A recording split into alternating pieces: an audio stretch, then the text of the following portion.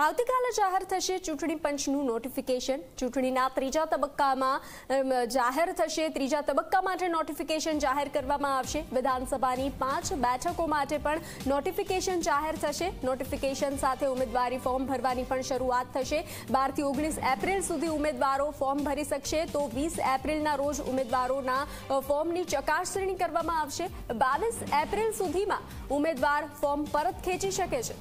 તો નોટિફિકેશન જાહેર થશે. વિધાનસભાની પાંચ બેઠકો માટે પણ નોટિફિકેશન જાહેર થઈ શકે છે.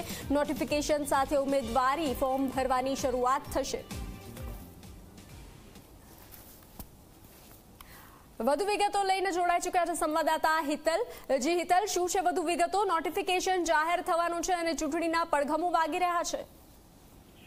જી ચોક્કસ એવું કહી શકાય કે ગુજરાતમાં લોકસભાની છવ્વીસ બેઠક અને વિધાનસભાની પેટા ચૂંટણીની પાંચ બેઠકોનું નોટિફિકેશન આવતીકાલે સવારે જાહેર થશે અને સ્વાભાવિક છે કે નોટિફિકેશન જાહેર થતાની સાથે જ ઉમેદવાર- ફોર્મ ભરાવાની શરૂઆત પણ થશે.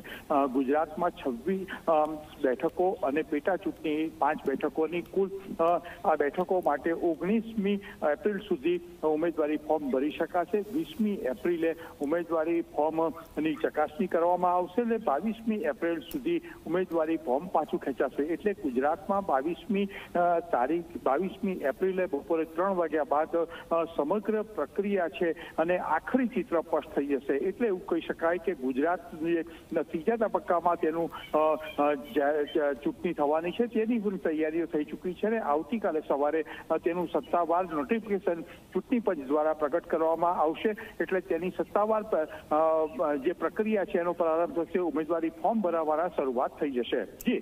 જી, હિતલ, જાણકારી સાથે જોડાવા બદલ આભાર.